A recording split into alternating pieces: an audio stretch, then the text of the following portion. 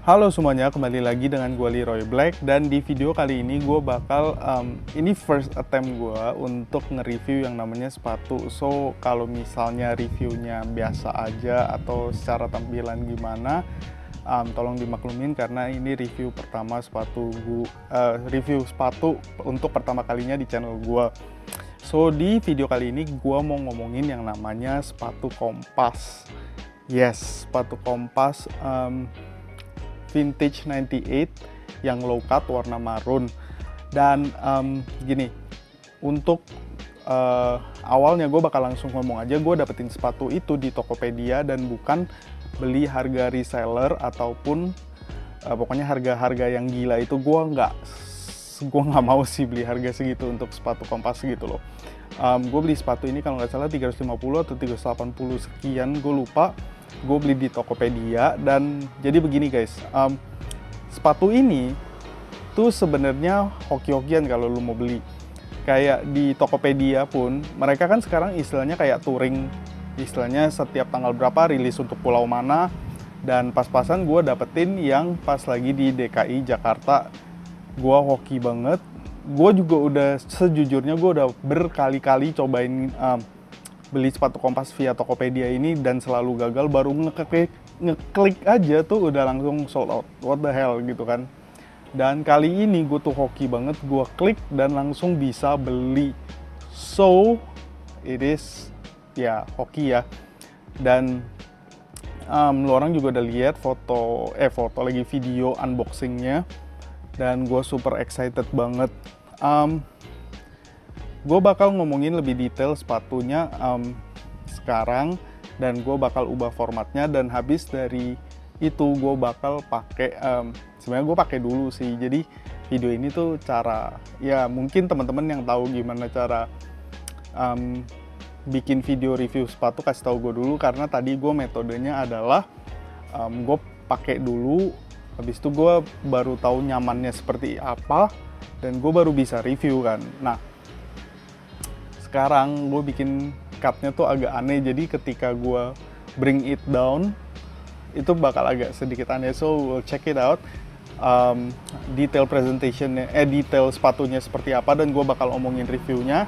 Dan di bagian akhir gue bakal uh, pakai on fit so guys sekarang gue mau ngomongin um, uh, closer presentation look dari sepatu kompas vintage 98 ini.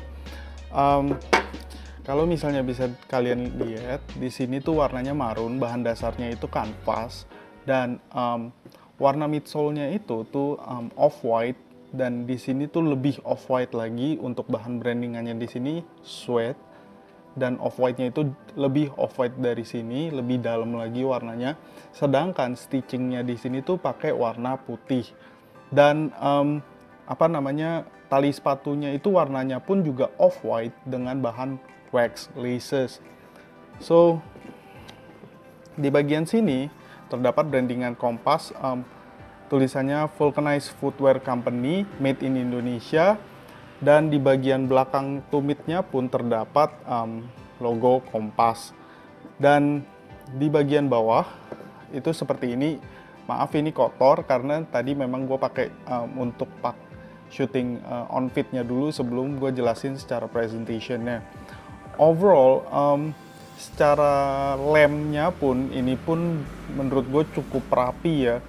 Uh, considering cuman yang harganya cuma 350.000 sekian dan bagian dalamnya itu seperti ini ada warna hijau sesuai dengan tema kompas vintage-nya. Tapi sayangnya dia itu insole-nya tidak bisa dibuka jadi kalau misalnya dalamnya udah kotor ataupun bau atau gimana agak susah untuk dibersihkan. Itu um, opini pribadi gue ya. Tapi untuk ukuran 350.000 menurut gue ini cukup decent sepatunya dan oke okay gitu um, untuk produk lokal ya. Tapi gue nggak ngerti kenapa ini sepatu banyak banget gimmick dan hype-nya jadi bikin susah banget didapetin um, sejujurnya kalau misalnya sepatu ini uh, available secara banyak gitu jumlahnya, gue yakin ini sepatu tuh bakal ngehits banget dan orang-orang pasti pakai gitu. Uh, oh ya, gue lupa mention satu hal juga, dia dapat tag seperti ini vintage 98, which is menurut gue oke cuman bahannya flimsy banget tipis. Kalau misalnya dia tebel pasti lebih bagus. So sekarang kita ngomongin kenyamanan dari sepatu ini uh, menurut gua sepatu ini tuh lumayan oke okay. um, dibilang keras nggak keras-keras banget cuman midsole-nya memang midsole keras tapi gue yakin kalau misalnya sepatu ini udah lu pakai um, maybe 3 minggu 4 minggu setiap hari berturut-turut ini pasti akan jauh lebih empuk dibanding sekarang karena sekarang lebih keras. Oh iya, satu hal lagi yang kalian mesti note ketika beli sepatu ini, um, kalian mesti beli size agak sedikit ke bawah menurut gue ya. Karena uh, gue pribadi size 42, tapi misalnya pas lagi pakai sepatu ini, gue ngerasa sepatu ini kegedean gitu. Kayaknya gue lebih cocok pakai ukuran 41. So, kalau misalnya teman-teman mau beli, gue saranin untuk beli satu size lebih rendah dibanding biasanya dan untuk ukuran 350.000 gua seneng banget bisa dapetin sepatu ini tapi kalau misalnya lu suruh gue bayar um, harga reseller yang sampai 800 atau sejuta gua nggak akan beli sih sepatu ini karena menurut gua um, sepatu ini overhype banget untuk harga segitu. Dan gue lebih prefer beli sepatu lain untuk harga satu juta rupiah.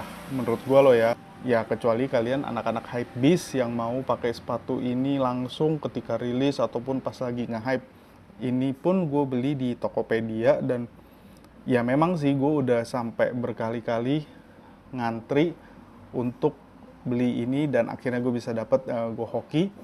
So we'll just bring it on fit and we'll see how it is gimana sepatu ini ketika dipakai